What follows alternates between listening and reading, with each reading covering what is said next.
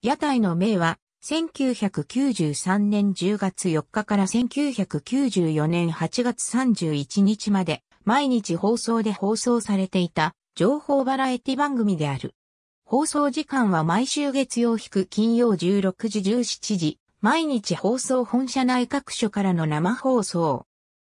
ファミリースタジオ230の放送開始以来20年、あまり続いた毎日放送平日14時台のワイドショーシリーズが、レインボーの最終回をもって TBS 制作、スーパーワイドのネット受け枠へと切り替えられるのを受け、毎日放送は同時社制作枠をかつて4時ですよだなどを放送していた16時台へと移し、それまでとは全く毛色の異なる新番組をスタートさせた。それがこの屋台の命である。レインボーまでは西日本地域の系列局を中心に広域ネットが行われていたが、この番組からはそれが中止され、完全な関西ローカルとなった。家庭の主婦をターゲットにしていた14時台のワイドショーシリーズから一転して、この番組は10代を中心とする若い世代をターゲットに選んだ。そして、全次郎ほか、テレビの壺のレギュラー陣と制作関係者たちを多く起用し、バラエティ番組路線にすることで、若年層の食いつきを図った。取り扱う情報も若年層に合わせたものとなり、日常の素朴な疑問ネタや、あるあるネタ、知っているとちょっと得をするかもしれない無駄知識的なネタなどを主に紹介していた。この番組ならではの特徴としては、屋根の上に据え付けられた目玉マークのオブジェを筆頭に、様々な装飾が施された移動式の屋台1台をセットに用いていた点が挙げられる。どこにでも移動可能な屋台の特性を活かし、毎日放送本社玄関ホールや玄関前、車内吹き抜け部分のあたり、廊下など様々な場所からの生中継を実施していた。1994年4月からは、本社地下1階にあるミニスタジオからの生放送となり、視聴者が観客として来場可能な公開番組として放送されるようになった。同時に、当時人気の吉本工業の若手芸人たちを日替わりレギュラーに起用した。そういったことや番組の放送時間が学生の下校時間と重なる関係から女子中高生を中心に支持を得るようになり、特に夏休みの時期においては、テレビカメラに映る観客のほとんどが女子中高生で、残りは男子中高生という状態だった。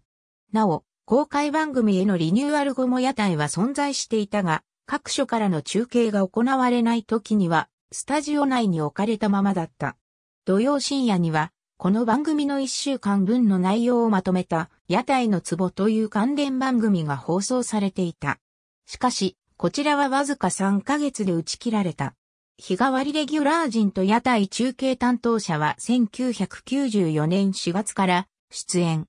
この当時は視聴者から寄せられた疑問、質問はがきの内容をもとにスタッフが調査をし、その結果を全次郎たちレギュラー陣が伝えて解決するという趣旨で行われていた。関西圏の番組らしく、トークを重視した構成をとっていた。視聴者から寄せられた疑問、質問の例1994年4月以降は、公開番組という性質上、調査の結果を全次郎たちレギュラー陣と日替わりレギュラー陣がスタジオ見学に訪れている女子中高生たちに紹介するという方式を採用していた。調査の結果を伝える、はぁ、へぇ、法王のコーナーでは、毎回彼らがフリップやホワイトボードなどを駆使しながら観客たちに伝えていた。番組の冒頭では、1994年当時、流行していた歌を大桃に歌わせる、納涼、カラオケ愛の手などの企画を実施していた。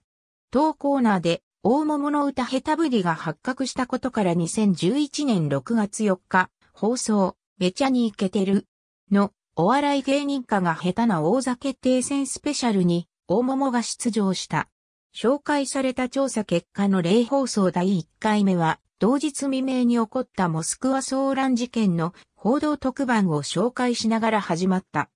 藤岡久美子が東京からの移動の際に使用していた東海道新幹線のぞみが車両故障により大幅に遅延。その列車に乗り合わせていた藤岡は30分近く遅刻し、私服姿のままで番組に出演したということがあった。通常よりも1ヶ月早めに実施された毎日、放送平日夕方枠の再編を受け、この屋台の名は、秋の改編を待たずして終了。それまで、直後の17時台に設けられていた、テレビドラマの再放送枠が、番組跡地の16時台へと移動し、その17時台には、自社制作の新番組、宵町語が編成された。ありがとうございます。